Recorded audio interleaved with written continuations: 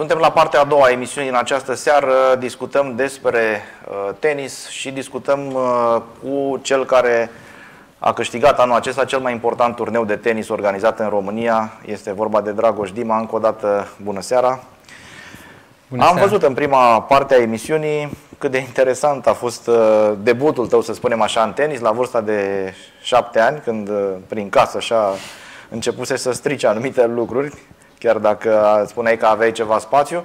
La 12 ani, într-un turneu cu Simona Halep în uh, Franța, la micul uh, As, așa cum este cunoscut acel turneu care reunește cei mai buni uh, tineri jucători, de fapt juniori din Europa.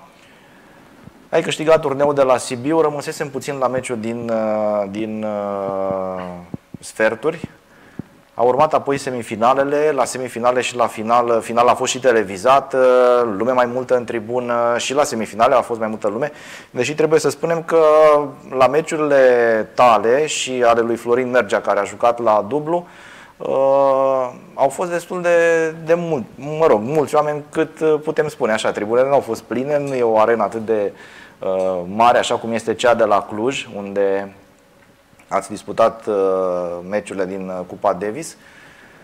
Cum a fost? Uh, pe măsură ce turneul avansa, ai început să crezi că vei reuși să câștigi? Um, am început să mă gândesc la asta din Sau era presiunea din ce în ce mai mare că am ajuns până aici și că în tenis uh, mentalul joacă un rol extrem de, de important? Um, cred că depinde mai mult de ipostaza din care, din care pleci. În cazul meu nu aveam absolut nimic de pierdut. Corect. Uh, pe măsură ce zilele treceau și mai câștigam încă un meci, pentru mine era un motiv în plus de bucurie și în același timp, nu știu, de relaxare și de dorință de mai mult. Uh, am avut această foame, dacă o pot numi așa, în timpul, în timpul turneului și nici de cum uh, presiune. Ceva emoții am simțit în ziua, în ziua finalei. Uh, Erau inerente, nu? Da, tot timpul se întâmplă așa la finale, ultima zi, simți că totul este mm, făcut pentru tine, este ultimul meci, rămâi în hotel mm, tu cu adversarul, nu mai este nimeni, uh, toată organizarea este pentru, pentru meciul respectiv și simți că are o, o importanță deosebită. Um, în cazul de față, în cazul de la Sibiu, um, toată, toată această atenție care era pusă asupra meciului nu a făcut altceva decât să mă motiveze, să-mi adune concentrarea strict pe meciul respectiv și m-a ajutat să, să performez așa cum, așa cum i-am dorit.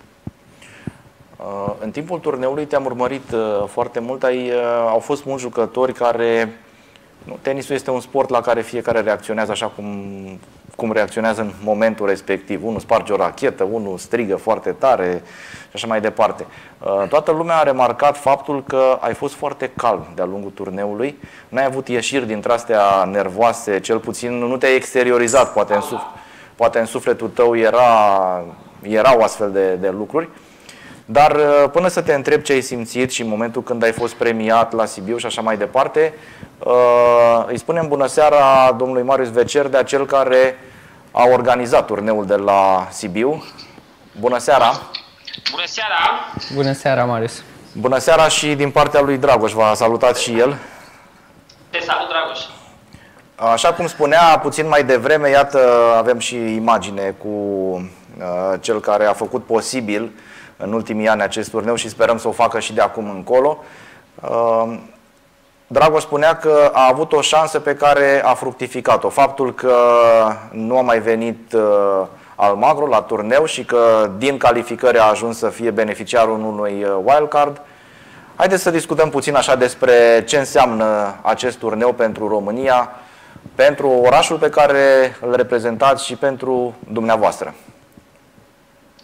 În primul rând, mulțumesc pentru invitația la...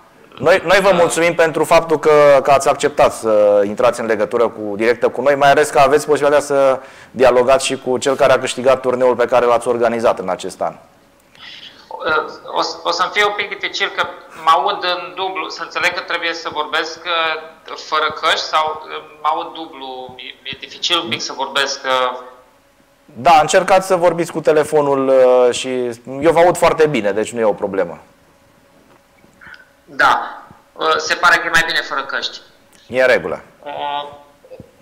Deci pe lângă organizarea, suntem iată, a fost la a șaptea ediție anul acesta, este un turneu destul de greu de organizat în România. Uh, trebuie să menționez că bugetul uh, total al turneului este undeva de 10 ori mai mic decât bugetul unui turneu ATP Challenger din Germania, de exemplu, sau uh, uite până chiar și turneul Challenger organizat de Polonia cu o săptămână înaintea turneului de la uh, Sibiu și vă rog să mă credeți, este un efort uh, foarte mare pentru a-l, uh, a putea organiza. Am avut așteptări un pic mai mari după șapte ani, deși, într-adevăr, obiectivul uh, a fost de cam de 10 ani. Am vrut să uh, Uh, cresc o piață a consumatorului de eveniment sportiv de calitate în Sibiu, uh, pentru a putea să susțin uh, strict din surse private turneul. Am avut ocazia anul trecut să particip la conferința mondială a ATP de la, din Germania, de la Braunschweig, exact pe în cadrul turneului premiat cel mai bun uh, turneu uh, Challenger din lume, cel din Braunschweig, Germania, uh, un turneu care are 1.200.000 de mii bugetul de organizare. Pentru față un turneu de Challenger. doar 110-120 de mii la Sibiu. Da, ar fi de preferat uh, un suport al, uh, în primul rând, al Federației Române de Tenis și în șapte ani de zile n-am avut uh, aceast, acest suport nici măcar cu o cutie de minci, adică 0 lei și 0 bani și uh, acest lucru se poate observa în, uh, în, în, în uh, dificultatea cu care organizăm de multe ori uh, sau aducem la standarde atât de înalte turneul de la Sibiu. Și acum, haideți să trecem un pic la Dragoș. Uh, o, o bucurie foarte mare să avem, în primul rând, uh, un român câștigător la Sibiu Open. Se pare că exact din 3 în 3 ani... Da, asta am observat și eu. Câștigă câte un român. A fost Adrian Ungur de două român. ori. Adrian Ungur 2012, Adrian Ungur 2015 și Dragoș Dima 2018, exact la 3 ani.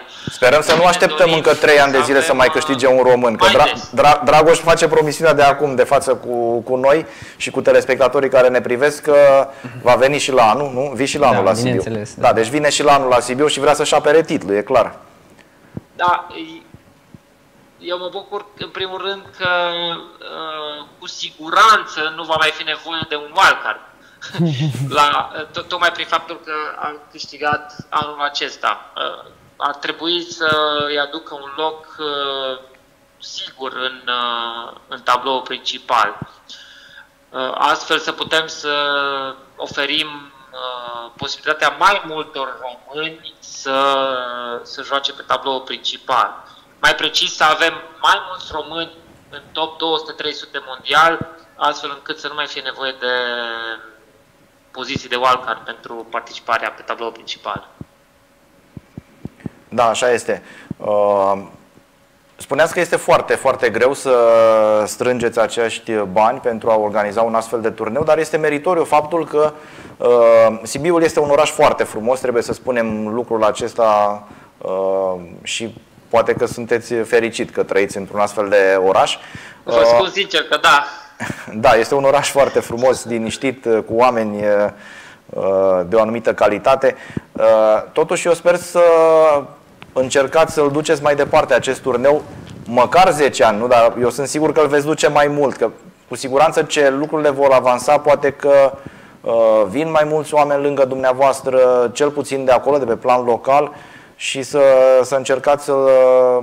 Pentru că a rămas singurul, din păcate, turneu uh, care se joacă sub egida ATP în România. Da.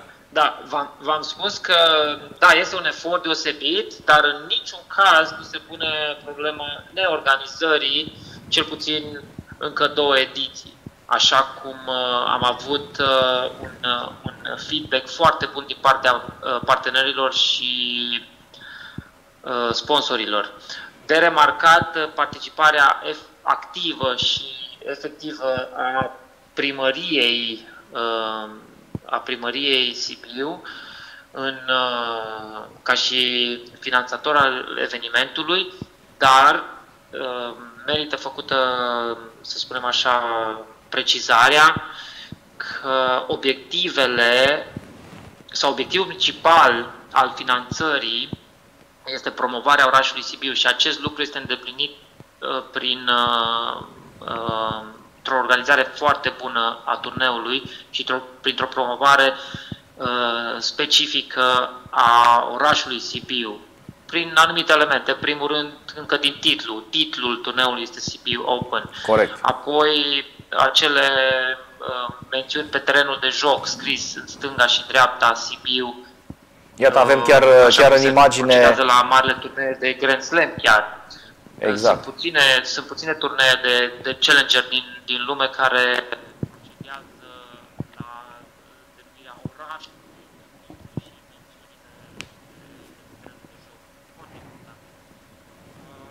Anul ăsta am avut un feedback foarte bun din partea partenerilor și sponsorilor, au fost foarte Am abordat uh, partea de promovare, au fost foarte mulțumiți și am promisiuni uh, că va fi în regulă anul viitor, deși Uh, să nu uităm, ATP-ul tocmai a aprobat uh, modificări substanțiale la, la turnele ATP Challenger, în sensul că uh, turnele din cadrul circuitului Federației Internaționale de Tenis ITF nu se mai acordă puncte și vor să implice mai mult, să promoveze mai mult turnele din circuitul strict circuitul ATP.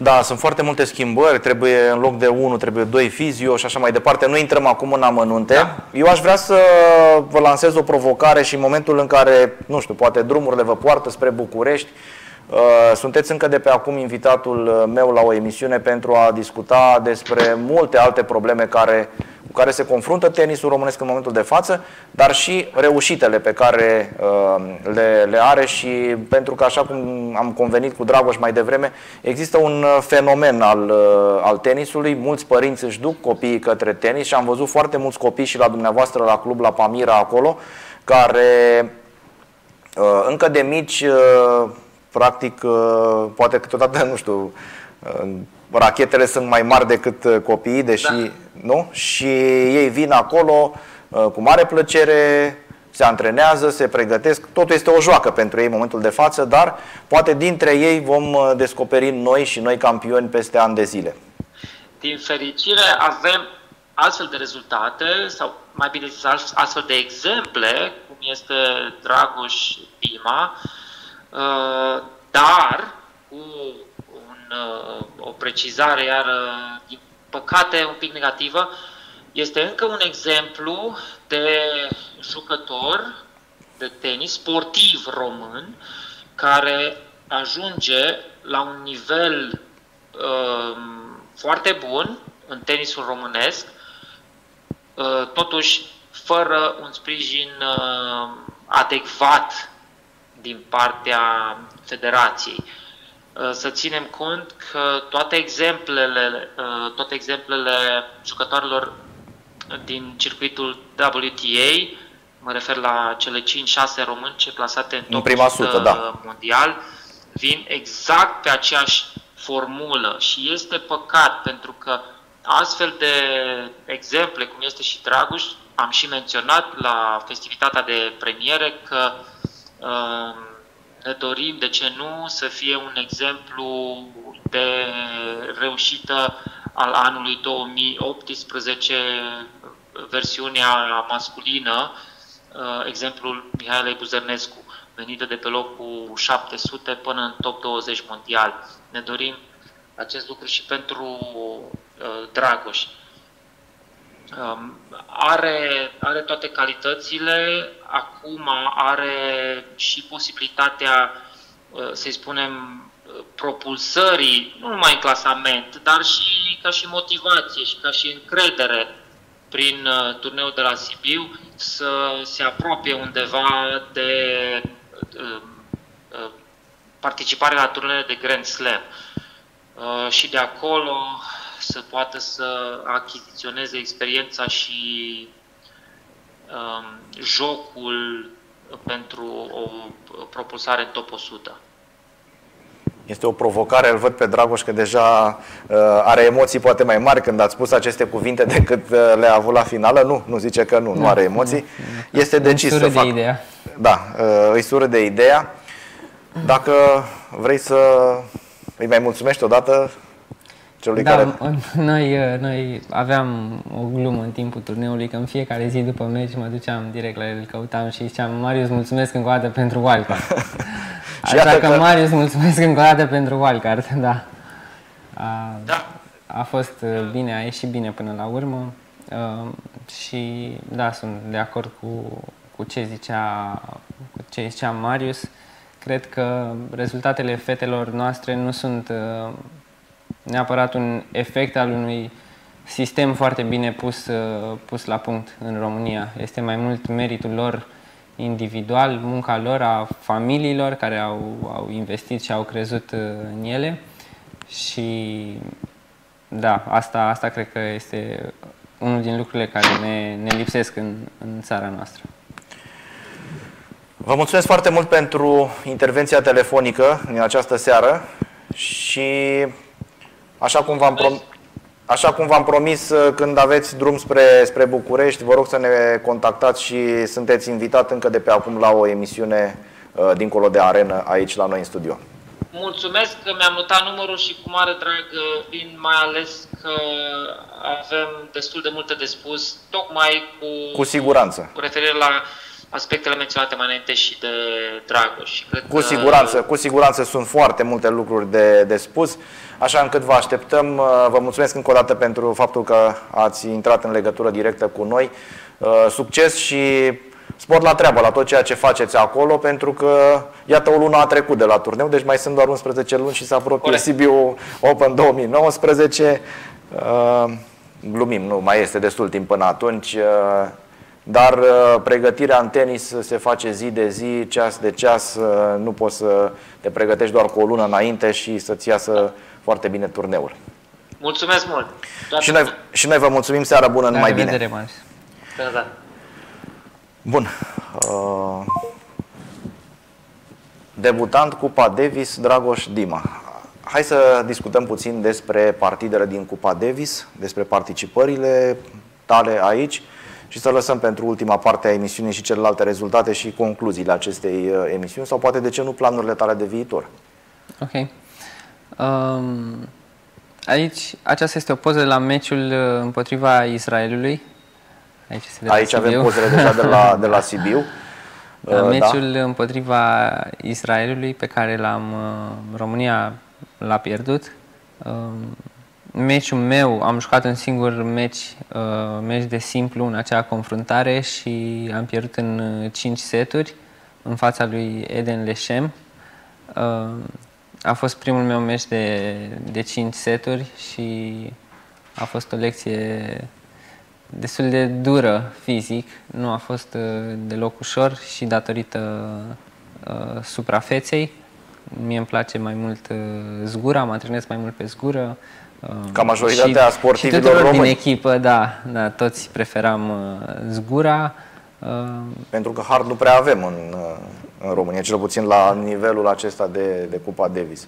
Da, am avut uh, neșansa de a juca în deplasare și Israelul uh, și-a putut alege suprafața și desigur că i-au ales uh, cimentul, deoarece toți, toți din echipă joacă foarte bine pe ciment. Uh, Um, un, alt, un alt meci uh, erau poze mai devreme din, uh, din Austria, Acela a fost... Da, aici sunt pozele de la Sibiu Aici și sunt o, să, pozele de la Sibiu, o să-l rog da. pe colegul din regie să ne arate puțin acele fotografii din uh, uh, meciurile pe care tu le-ai jucat uh, sub tricolor în uh, Cupa Davis. Dacă... În Austria am... Acela a fost meciul meu de debut în uh, Cupa Davis, a fost primul meci.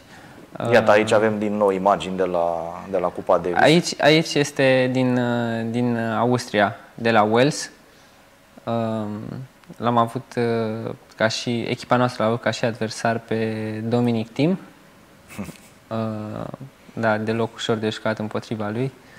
Dar uh, Nicu Frunză a făcut un meci foarte, foarte bun împotriva lui Tim. A pierdut în trei seturi foarte, foarte strânse.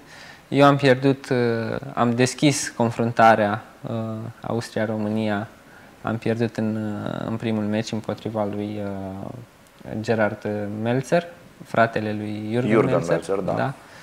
Uh, am avut ceva emoții la început de meci, era primul meci și uh, nu știam atât de bine cum să gestionez acele trăiri și ce se întâmpla, deoarece este săptămâna de Cupa Davis este o săptămână uh, deosebită, este specială. Tot ce, tot ce se întâmplă și tot ce trăiești cu echipa, uh, toate, toate acele convenții, cina oficială uh, și întâlnirile cu echipa, conferințele de presă, uh, dau o notă, o notă distinctă acelei săptămâni și te fac să înțelegi că pentru, pentru puțin timp nu o să joci doar pentru tine, așa cum ești obișnuit, ci o să joci pentru ceva mai mare decât tine. În, într-o primă fază pentru colegii din echipă și cei care trec prin aceleași experiențe prin care treci și tu în acea, în acea săptămână și apoi, desigur, pentru, pentru o țară întreagă. Da, foarte frumos ceea ce ai spus.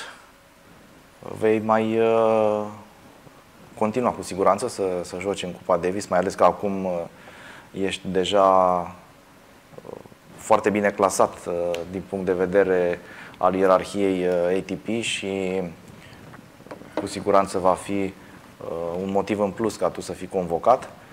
Vom vedea care sunt planurile tale de viitor. Luăm uh, din nou o scurtă pauză de, de publicitate și ne întoarcem imediat la emisiune.